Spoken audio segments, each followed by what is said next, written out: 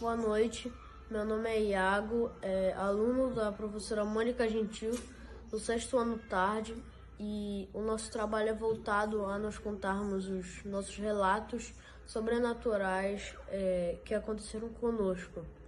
É, na verdade, comigo não aconteceu nada, mas eu vou contar para o relato da minha mãe.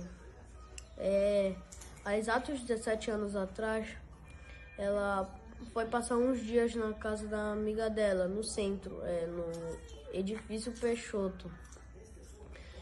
É, aí eu não lembro, num certo dia ela teve que descer, não sei exatamente o porquê.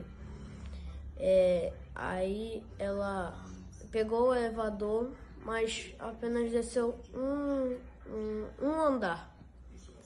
É, aí logo depois subiu para o último andar sozinho. Aí quando as portas se abriu, se abriram, é, ela viu, não tinha ninguém e estava tudo escuro. Nessa hora ela sentiu um calafrio muito grande e ela se sentiu observada também.